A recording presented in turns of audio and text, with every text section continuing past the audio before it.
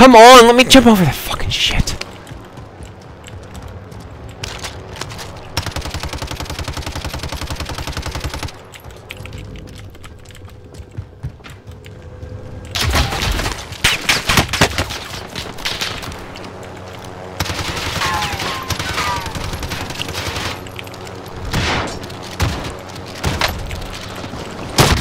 Oh, fuck you! I was reloading. I'm literally in the middle of a pump action on a shotgun, and this dude lands on top of me. And oh god damn it, he kills me without his gun being pumped.